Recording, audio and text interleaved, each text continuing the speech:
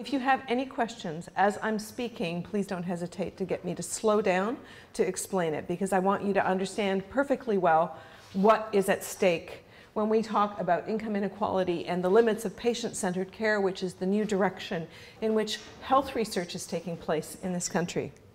I want to start off by telling you the things I'm going to tell you, the things that I don't want you to forget about. Um,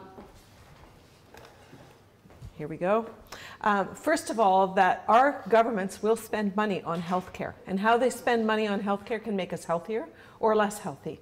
Um, and it's very important that we get this mix right because it's an awful lot of money. Secondly, that inequality, income inequality, and population aging will accelerate our incidence of chronic disease quite dramatically in the coming 20 years, and it's important that we get that right. Thirdly, slow growth is not going to go away. We've been talking about it a lot in the last year or two because of falling oil prices. But beyond falling oil prices, there are issues about slow growth.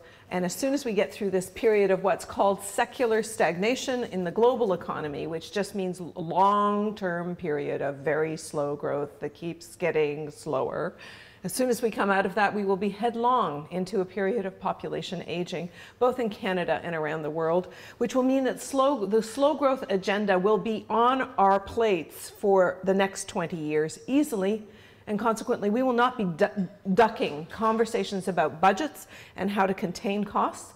And part of our job here is to figure out how we bring these issues to the fore so that we are spending money the most effectively to reduce costs as well as improve health.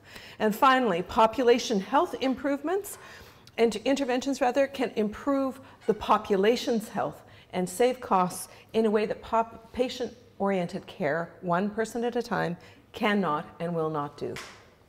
And the key message of everything I'm going to say to you today is an ounce of prevention is worth a pound of cure. You could have gone and talked to your grandmother to get my key message today. So I'm going to divide this presentation into four bits. First of all, how the economy affects your health, directly and indirectly, how government spending affects your health, directly and indirectly, what a population health approach could do to save money and improve health, and what you, all of you in this room, as pub, uh, public health advocates, can do to improve the level of discourse in this country. First of all, let's start with the economic impacts and a summary. I want you to understand very clearly what it means to talk about stalling economic growth, how it's going to affect your work, and how it's going to affect your health. Um, as I said, we'll be talking about the indirect and direct health impacts and how that also leads to budgetary pressure.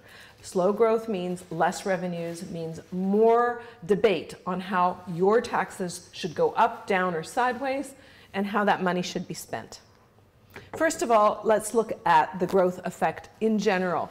The global economy outlook is slowing down. The IMF just put out new uh, forecasts last week. I, I, wish I'd included this. I think I've included this in your, in your charts about how every time they put out a growth outlook, which is in April of every year, the charts have been coming down slower and slower. Since April of 2010, we've seen slowing gro growth globally. And in this uh, global growth context, Canada's slowdown is faster than most. And it isn't just the last price decline of oil.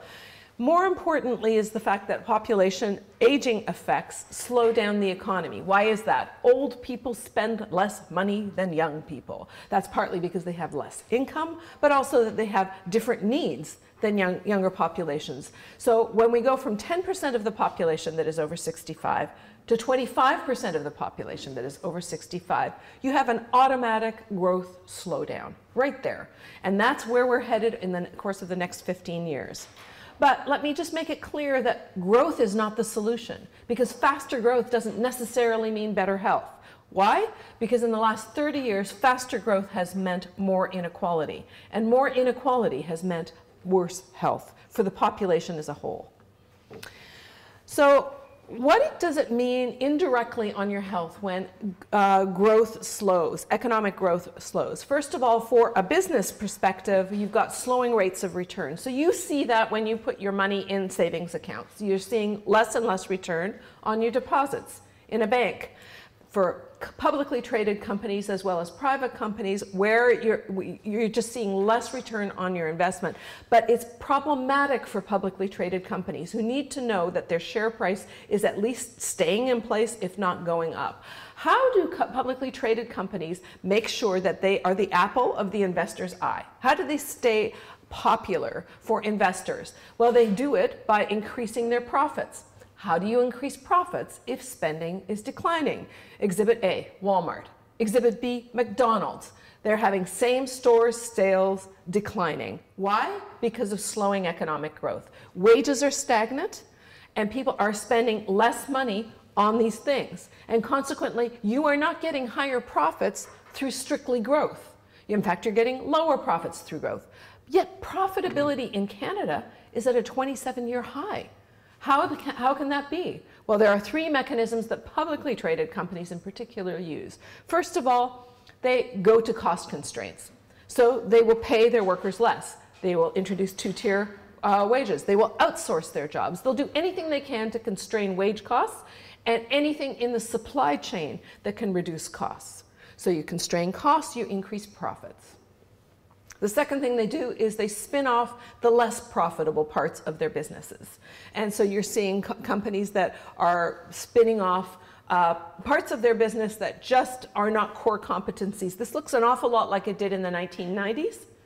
And that means that what's left of the company has higher profitability rates right? So you just dump the stuff that doesn't make the same profits. We're seeing that a lot, for example, in fish processing. They're making 10% rates of return, but that's not as much as the rate of return that they want. 15% is what they want. That's their target. So they spin off the parts that have less of a rate of return than the profit level that they've targeted. And the third is through mergers and acquisitions, which we're seeing an awful lot of uh, in the wake of the crisis. And it's in fact mergers and acquisitions. Think Tim Hortons and Wendy's, for example. It's the mergers and acquisitions that permit the bottom to look like it is soaring, not because they have higher sales for the things that they used to do, but because the merger of these two entities per permits uh, a growth in volume as well as an opportunity to constrain costs more. So you get overlapping functionalities which you dismiss, that raises the profitability. So I mentioned that profits are at a 27-year high in Canada, despite slowing growth, but the wage share of GDP is, at, is near a record low, and that affects your health this way. So first phase of the direct health effects of slow growth. First of all, as you lose your jobs in a slow growth environment, there are few, fewer job options out there. So consequently, people hang on to the jobs they've got, they don't leave them as easily, and it's harder to find an opening in a, another decent job. Secondly, that means more people are competing for entry-level jobs, and there are more young people, and there are more immigrants. So the pool of competition at the very bottom of the job market, where the wages are the shallowest, are far, is far more aggressive, and that also suppresses wages at the bottom.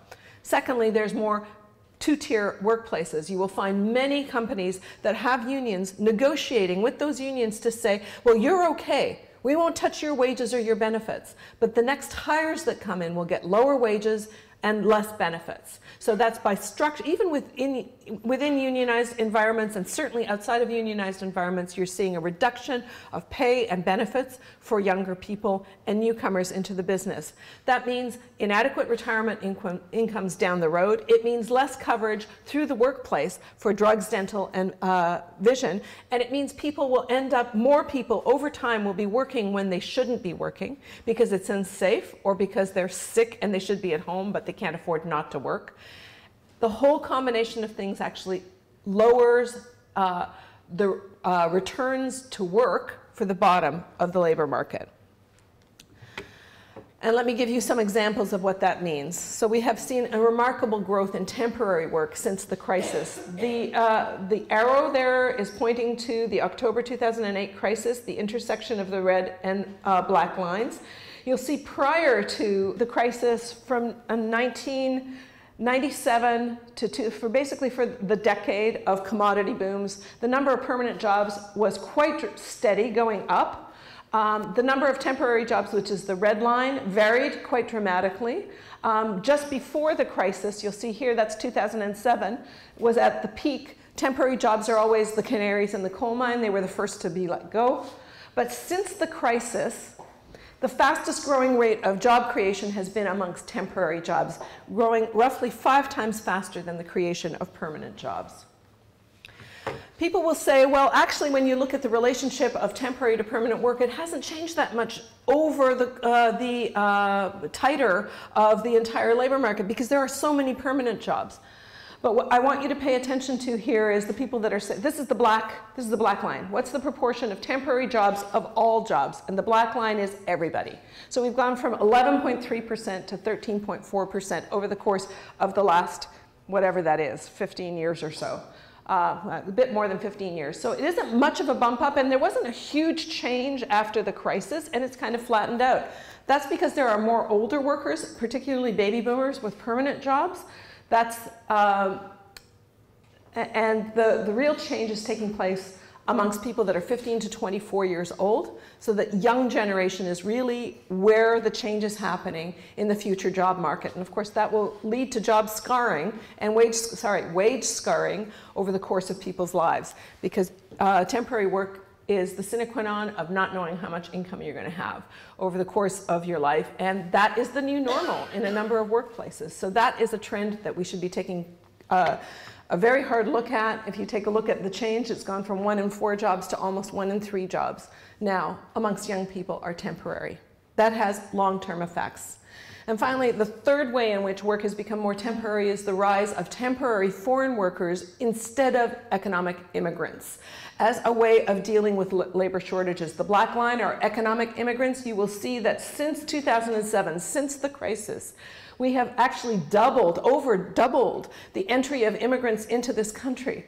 But it is a brand new phenomenon of replacing, uh, trying to meet our labor shortage needs with migrant workers, which also suppresses wage, um, wages and uh, benefits that workers can expect. So that has, uh, that has a spillover effect on the rest of the economy. So I've, I've been talking a lot about what uh, a slow growth environment does to your health uh, at the bottom of the income spectrum, but it's not, it's never just the bottom. When we're talking about inequality and slow growth, uh, we're looking also at what happens to the middle. There are fewer jobs in the middle of the income spectrum, and we're looking at what happens at the top. So yes, there has been growth. I told you that the profit rates are now at 27 year highs. So there's been growth. We've seen income concentration and wealth concentration. And income con concentration, uh, I'll show you these charts in a couple of minutes, leads also to spatial uh, uh, polarization. The reason being that if you've got only one group with a windfall of income gains, they are going to be driving the price of housing, right? They are going to find the places that are the most attractive. What's real estate about? Real estate is about location, location, location. So there are certain locations that are preferential. And people gravitate towards those preferential locations, and those with extra money drive up the price of those locations. But that has a spillover uh, uh, effect in adjacent neighborhoods, slowly driving up the, stock, the, the price of the entire stock of housing, but polarizing communities in the meantime, reinforcing the fact that there's less mobility. Because what is a low rent neighborhood? A low rent neighborhood is someplace where not only is the stock of housing not adorable, but you've got worse schools, less public transit, less retail, less green space and recreational spot. It's called low rent housing because nobody wants to live there. And people that live there are only living there because they can't afford to live someplace else. And now I will show you some pictures about that. Oh, wait, no, I'm going to tell you something else first. I forgot about this. So income inequality is rising in Canada, right? Well, here's the traditional way of looking at income inequality internationally is the Gini coefficient, which by the way is terrible at measuring what's happening at both ends of the income spectrum. It is excellent at measuring what's happening in the middle of the income spectrum. I will not bore you with the math as to why this Gini coefficient does what it does, but it's basically telling you what's happening in the middle. And what this is telling you is happening in the middle is that from 1976 to 1997, income inequality went up dramatically in the marketplace. Our tax and transfer system, the red line, subdued it, but still you saw a dramatic growth till 1997. And then post 1997, you're not seeing much difference. So the people that are the income inequality deniers, the equivalent of the climate change deniers in our society, the income inequality deniers in Canada will say, stop talking about income inequality as if it is an issue in Canada. You are importing this problem from the United States. And of course, nobody does extreme like the United States.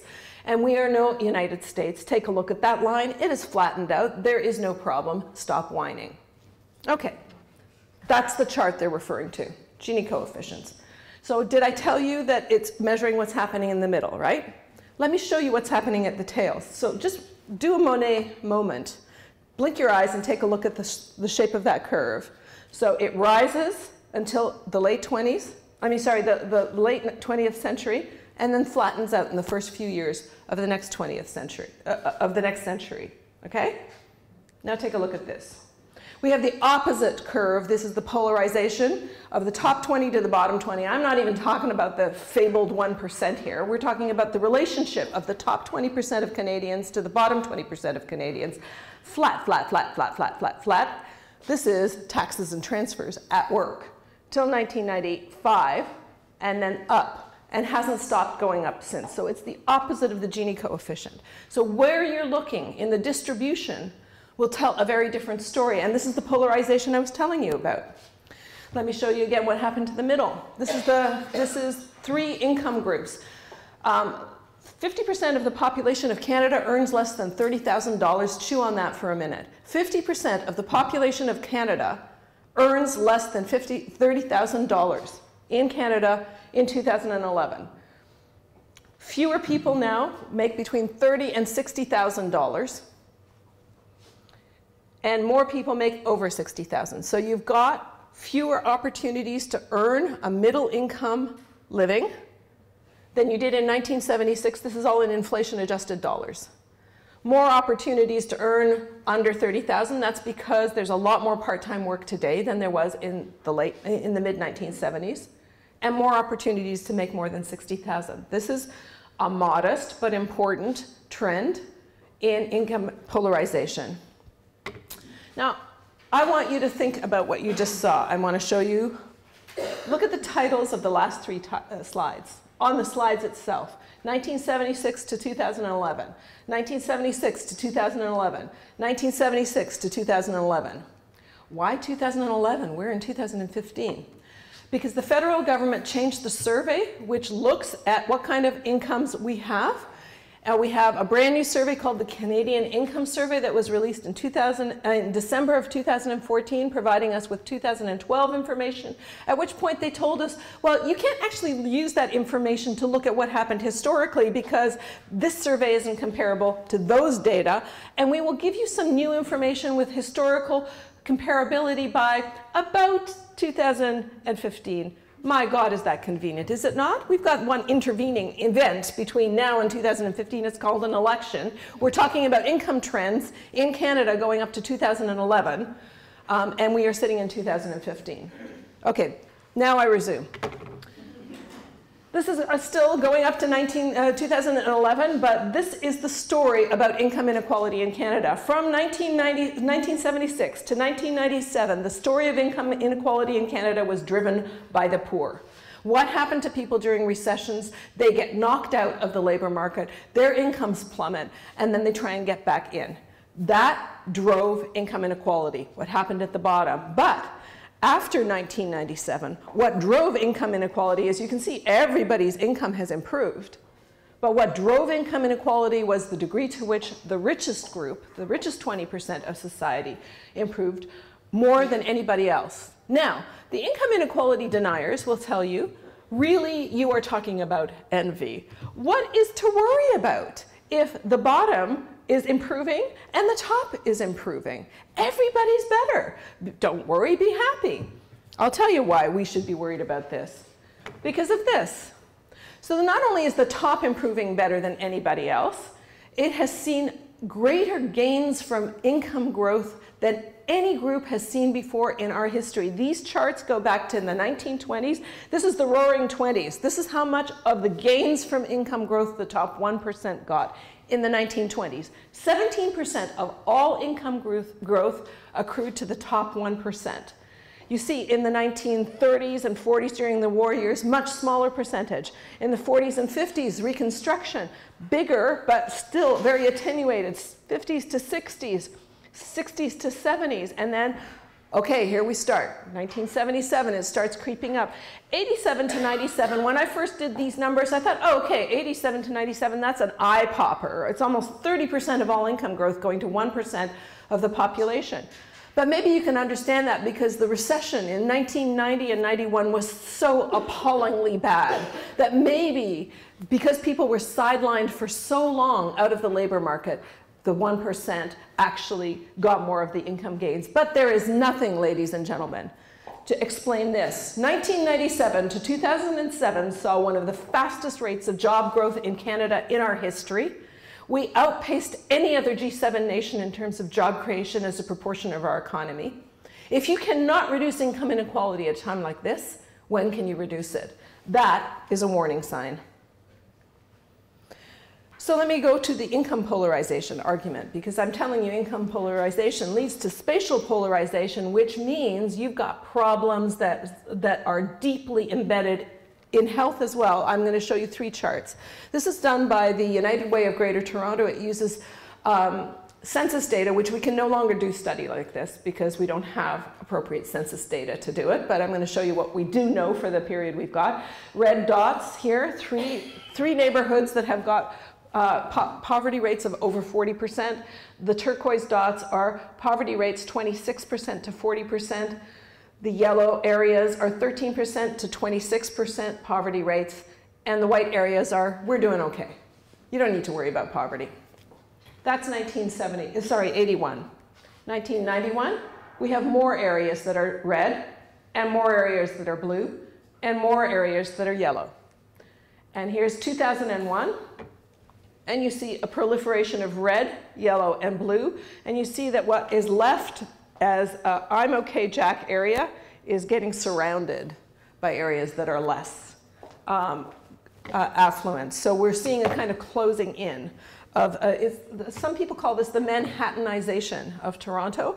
And the person that did this study for the United Way of Greater Toronto learned, learned this technique from David Hulchanski, whose work I will show you here.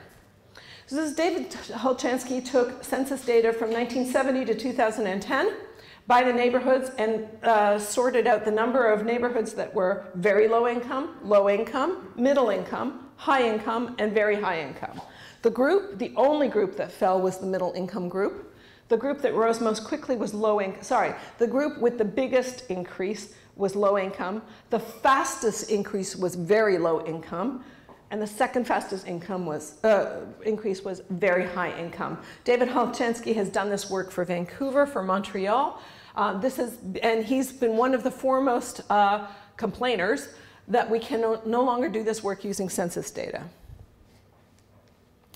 And of course, place-based health disparities, we're looking at Code Red. This is a Hamilton exercise that the newspaper underdid using census data, again. And their, their more recent, most recent piece of work showed a, a, a difference of 21 years in life expectancy in adjacent neighborhoods, rich and poor neighborhoods, which is generations worth. Basically, you're discounting a generation. If you think this isn't worth fixing, you got a problem. So, how do we fix slow growth? Well, we know in this room that the way to fix slow growth is not necessarily goose up the economy, but to actually address the causes of ill health, which are the determinants of health. So faster growth can cause more income inequality and polarization, but slower growth will also accentuate income inequality. That doesn't mean that our hands are tied.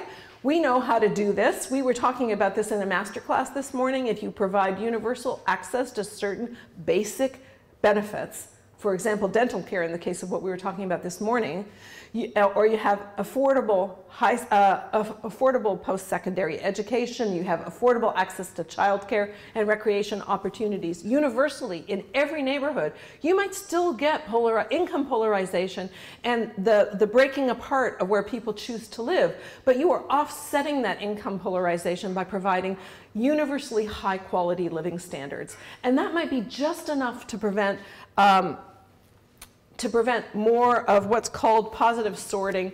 In uh, economics, there's a term called uh, positive sorting that Gary Becker put into place. I'm going to convert that into your grandmother's language again. Birds of a feather flock together. Doctors marry doctors, lawyers marry lawyers, instead of in our parents' generation when doctors married nurses and lawyers married male mail carriers. I don't think so. Uh, but anyway, you know, like there was there was a little bit more mixing it up between income classes than there is now. Now people marry likes because they actually don't rub shoulders with one another in different environments as frequently as they used to. Now the problem with my pr proposition that we address the determinants of health in every neighborhood in equivalent ways is that slow growth will affect budgets and what what, what you're seeing it with the Quebec budget, we're about to see it with the federal budget. We're seeing it played out in, in jurisdiction after jurisdiction. We ain't got no money to fix this. What we have to do is cut, because what we have to do is balance our books. I beg to disagree. How our governments spend will affect our health today and in 20 years from now. And in this uh, period where we've got this epidemic of austerity, we are avoiding the elephant in the room. The fact that population aging and growing inequality presage an epidemic of preventable illnesses like obesity, diabetes, and cardiovascular, these are to some extent preventable early death and preventable illness. And our solution at the federal level on what kind of research we fund has said, well, let's look at patient-centered care. That's the latest policy jargon that I keep running across over and over again.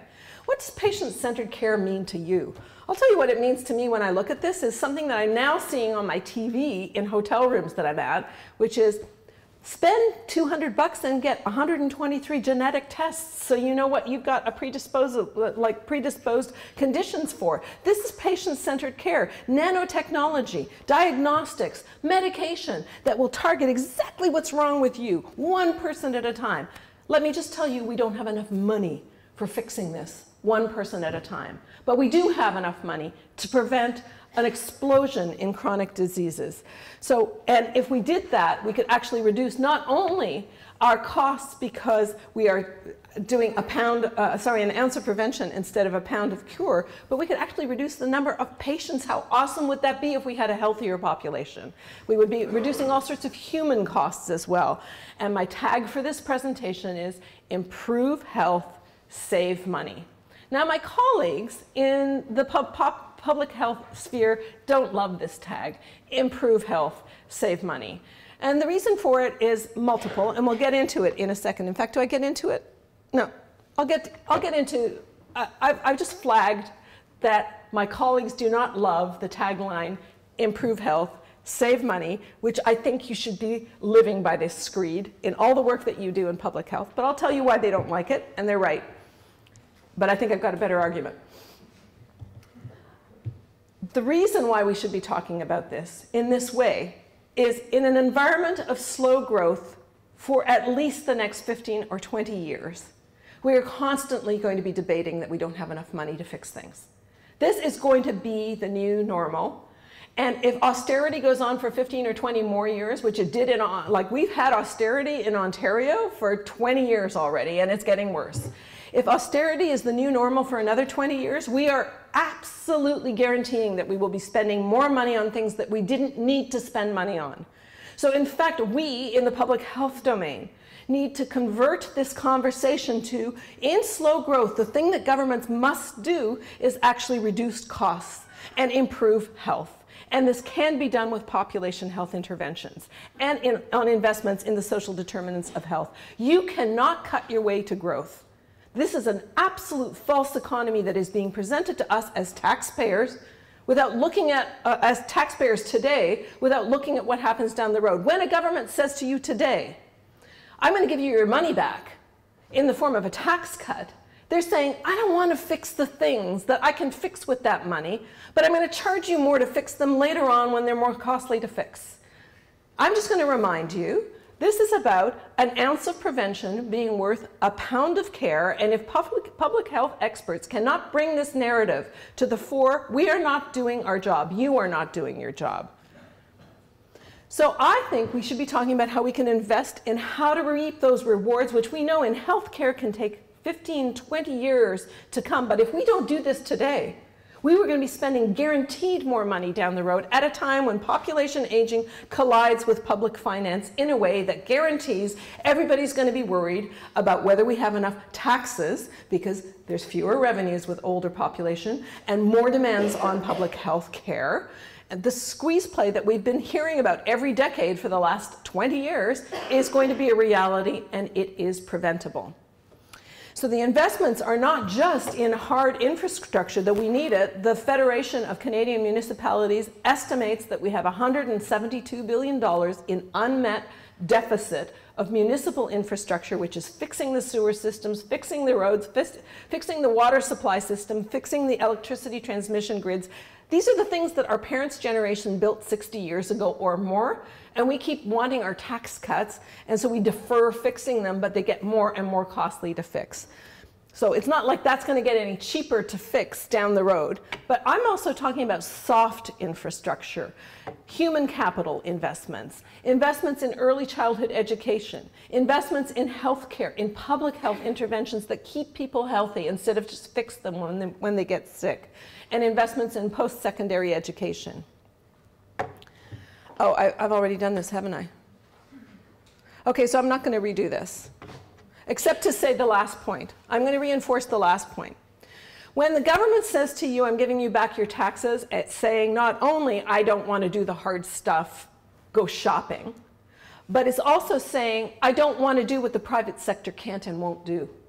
The public sector is not the same as the private sector. When you get more money in your pocket, when they tell you, you know how to spend your money better than I do, so go shopping, they don't say you can buy different things than I can provide you through public dollars. There are things that the government does that the private sector doesn't do because it can't do. It makes no sense for the private sector to create whole public transit infrastructure, to, to regulate you can't self-regulate certain types of uh, expenditures on human services. And the private sector has no incentive on saving the population costs. In fact, that's where profits come from. Make them spend, make them spend more. In fact, in healthcare in particular, healthcare is 11% of our economy. If the private sector had, had, had their way, it would be a, an economy generating juggernaut. We could bump that up to 15%, 16% of the economy, and somebody's going to make a lot of profits. In fact, what governments do is say, we can do these things without profits and still del deliver a better quality for a bigger number of people. The idea of the public good is something that we don't talk about enough. So how government's spending affects your health is through prevention. And let me show you, if you think that saving money and improving health is not possible, let me show you a few very, very specific examples. Tobacco cessation. This is smoking prevalence on your left-hand side. Down, down, down, down, down, down since 1965.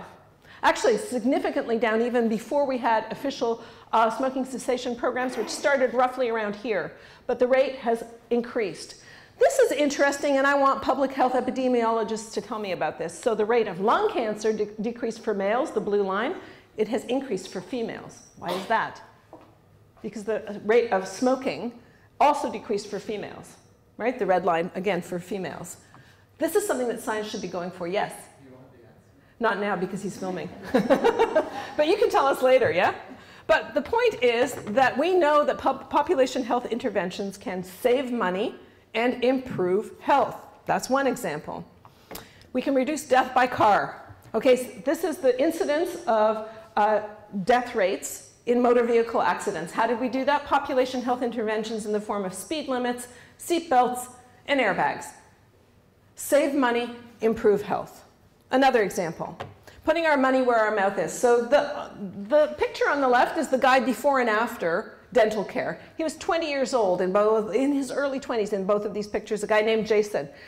He was poor, his teeth fell out, well, his, no, his teeth rotted, and the only solution for him, since he didn't have dental care, is to get his teeth extracted. That was the solution that Medicare offers because we don't cover oral health in Medicare, but we will cover emergency extraction. So he had most of his teeth extracted. Somebody saw a picture of him Moira Welsh in the Toronto, Star, uh, Toronto Star wrote a story about his life. Some dentists came forward They offered to give him free dental care. He got a job, he got a girlfriend, he got a kid, he got a house. He got a haircut. He looks great. And this was such a great story that we, we I, I insisted that we feature, feature his picture on the front of this particular CCPA publication. Here I want to bring your attention to the cost per capita on dental care in this country in the private sector, line going up, the cost in the public sector, flat as a pancake. So some of what's going on in the private sector is you want your teeth whitened, you want your teeth straightened, go for it. Like, I don't care if you want to spend your own personal money on that. Some of that cost is just extracting rotten teeth. We have a higher incidence of or poor oral health in immigrant populations and in First Nations populations, in both cases because milk is not considered, well, in the case of First Nations population, because milk is more expensive than Coke, in many reserves. And in the case of immigrant populations, here, child, have Coke, because I could have milk in the country I came from, but Coke is cheap here, and it is a status symbol. And so you have all these blackened teeth in, in class. There are simple fixes to that. And that would reduce that incredible gradient. We could improve health, reduce costs. Let me show you some of the ways we could do that. Fluoridation is probably one of the best ways of doing that. Overall ranking, this is by, oh, I forget who did this. This is like a scientist, not me, ranking this stuff. Uh, fluoridation, sealant programs, toothbrushing. You see the ranking order of actually improving health. This is cheap, cheap, cheap stuff to do. Improve health, save costs. How? Through public health interventions. Invest in human capital and start young. This is what happens when you invest in human capital. You reduce the cost later on in life.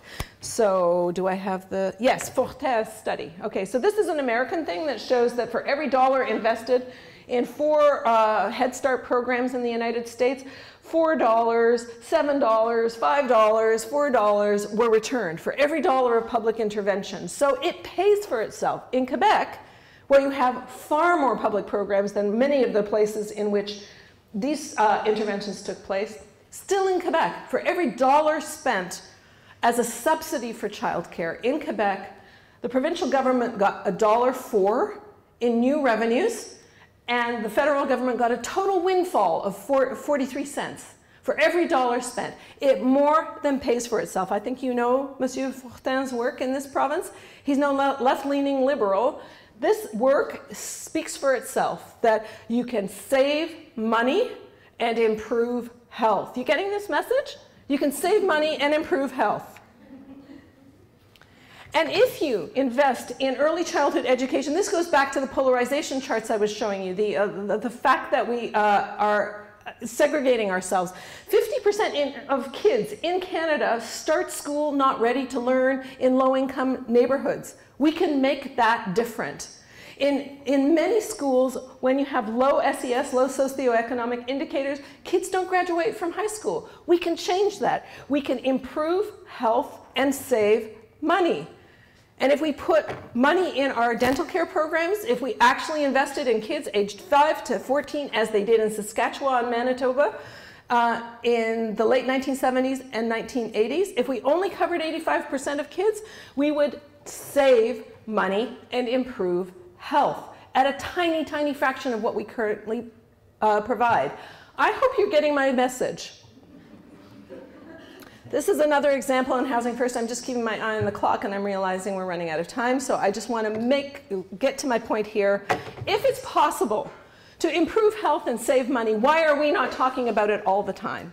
Well, the scientists among you will say we can't prove we can't prove causality. We can show correlation, and even so, evidence might come out over time that shows it wasn't that that led to this. And then, you know, the fact is, maybe the politicians want to save money instead of improve health. Or maybe the politicians want to improve health, but it doesn't save money. What if you can't do both of those things, Armine? Think about it. You can't actually always make that claim you can improve health and save money, damn straight. But in the event that we are stuck in a budgetary dispute, that all we can do is cut and provide austerity, if you have not made the link that that will lead to worse health down the road and higher costs, you have missed your boat, ladies and gentlemen.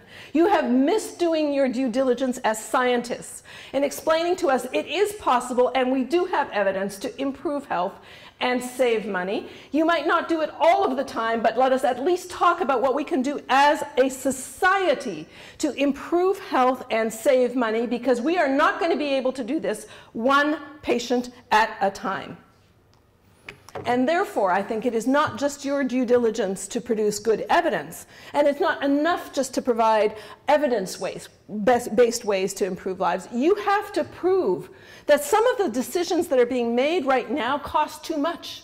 And there we have the Alberta Chief Medical Officer of Health two weeks ago coming together with many health, uh, many health professionals saying we've got $7 billion deficit in our budget and it is going to make people's health worse.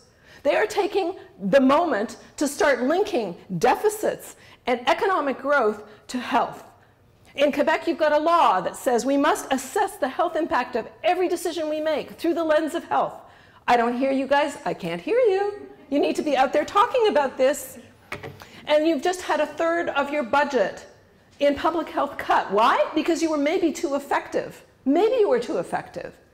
But you know, it doesn't matter if you have got uh, your budget's cut. It's not about you telling them how to grow the economy or how they grow, it. Sometimes health gets in the way of making money, and you have to be brave enough to say that highway proposal, that mining uh, uh, decision, the idea of serving alcohol at casino tables, these are bad ideas.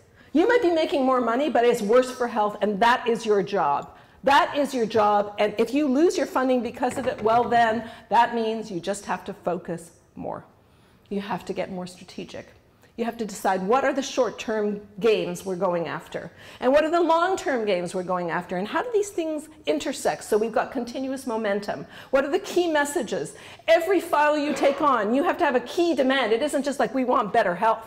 Oh, no, no, no. What is it that you're stopping? What is it that you're starting? We want X amount of money in the schools to improve public health, uh, dental care. You have to have clear, distinguishable acts asks that are based on solid evidence, but are not just about evidence. And for heaven's sake, choose the facts that you want to get repeated. Understand that education in this file is a long, long process. The story of tobacco cessation is a 30 year story. We don't have 30 years. Pick your fights well. Pick the facts that you want to have the public on the street repeat over and over again, not your colloque of you know, scientists repeating over and over again, the facts that everybody on the street can repeat over and over again and make demands of their politicians, say yes to every media request, use the social media more effectively, force yourself to 140 characters of pithy examples of what we can do to what? Say it with me. Improve health, save money. And understand your power public health that domain is full of the most striking human dramas, right? It is about, it is the secular parable. It is about here's the adversity and here's the solution. Here's the stories and the values that people can relate to. It is a humane instinct to want to reduce early death and suffering. To it, is, it is a noble thing to say we are putting people ahead of financial gain. We understand the drive to want to fix everybody's health one person at a time, but making money isn't how we should be doing it. We know that public health is about talking about inequalities and offsetting injustices, and it's about making things more accessible for everybody, better health for all. And we know how to use scale to our advantage. Public health saves lives too, a million lives at a time. What are your slogans? What are you going to have people repeat after you? What would make people march in the street, not because of a 0.4 cut, to uh, education, but because they want something. Not because they're trying to stop something, but because they want to march in the streets to have something. Better health, improved health, and saved costs. Yes, you can. I thank you for inviting me to be part of the Paul Bernard lecture series. I applaud him for the work that he brought to all of us. And, you know, I just think I'm very happy to be in this midst today. I entertain your questions if you have any. I'm sorry it took me so long to get through this slide deck.